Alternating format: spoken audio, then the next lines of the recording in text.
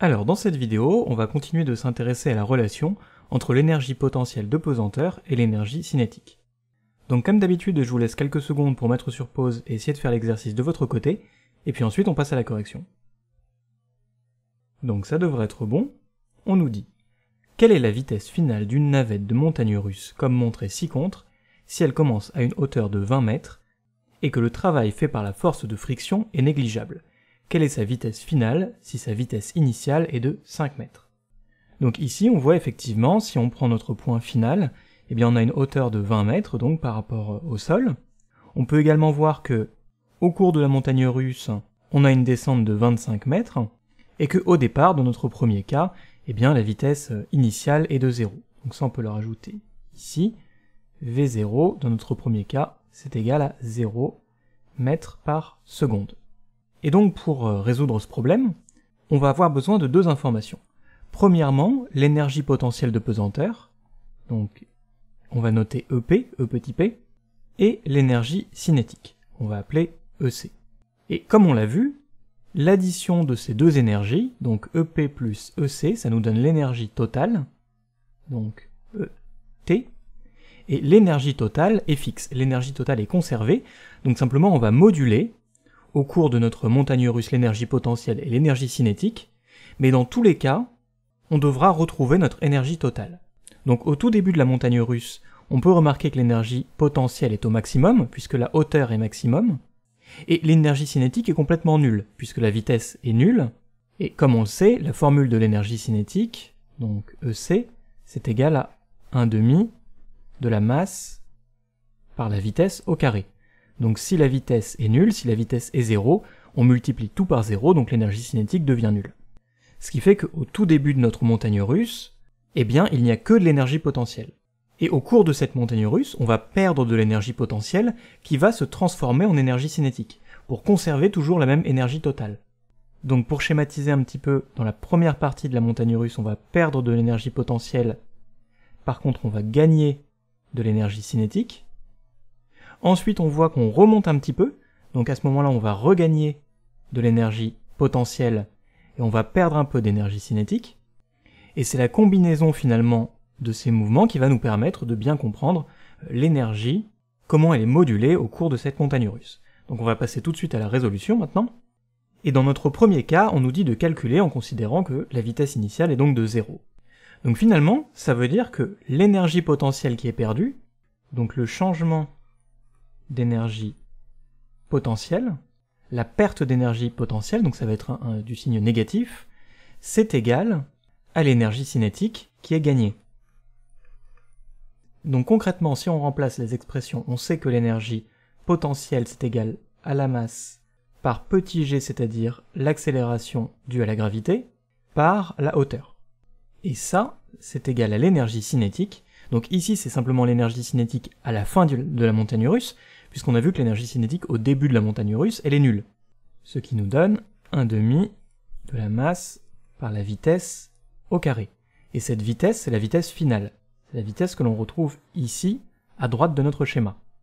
Donc on va descendre un petit peu, et maintenant on a juste à réagencer l'expression, donc on va isoler notre v carré, puisque c'est la vitesse que l'on recherche, ce qui nous donne v carré, c'est égal à la masse par petit g par h, ça ça ne change pas. Par contre on fait passer le 2 de l'autre côté, donc on multiplie l'expression par 2, et on fait également passer la masse de l'autre côté, du coup on divise par la masse. On peut simplifier un petit peu, la masse on la retrouve deux fois, ce qui nous donne GH fois 2, et comme pour le moment on a notre vitesse au carré, on veut notre vitesse simplement qui ne soit pas au carré, donc on va tout mettre en racine carrée, ça nous donne la racine carrée de GH fois 2. On remplace maintenant tous les membres de notre équation. Petit g c'est égal à 9,8 mètres par seconde au carré. On n'oublie pas de tout mettre en racine carrée. Notre hauteur, elle est de 20 mètres. Et on rajoute le 2. Ce qui nous donne à la calculatrice racine carrée de 9,8 fois 20 fois 2, ce qui fait à peu près 19,8 mètres par seconde. Et on voit qu'on a bien des mètres par seconde, puisque effectivement des mètres par des mètres ça fait des mètres au carré, on a des secondes au carré, et on prend la racine carrée de ces deux unités au carré, ce qui fait bien des mètres par seconde. Donc on en a terminé avec la première question, ici. On va passer à la deuxième. Alors on va supprimer tout ça pour se laisser plus de place. On remonte un petit peu. Et la différence dans la deuxième question, c'est que la vitesse initiale n'est plus nulle. Donc ici, ce n'est plus nul, mais c'est 5 mètres par seconde. Alors ça va pas nous poser beaucoup de problèmes, on va simplement reprendre notre expression. Simplement, notre énergie cinétique, ça ne va pas être que l'énergie cinétique à la fin de, de la montagne russe, ça va également être l'énergie cinétique au début de la montagne russe. Donc simplement, on reprend le même principe, c'est égal à la perte d'énergie potentielle d'un côté, et de l'autre, on a notre énergie cinétique. Simplement, l'énergie cinétique ici, ça va être la différence entre l'énergie cinétique à la fin et l'énergie cinétique au début, c'est-à-dire 1 demi de la masse par la vitesse au carré, ça c'est notre énergie cinétique finale, moins 1 demi de la masse par la vitesse initiale au carré. Et de l'autre côté, on a toujours mgh, la masse par l'accélération due à la gravité par la hauteur.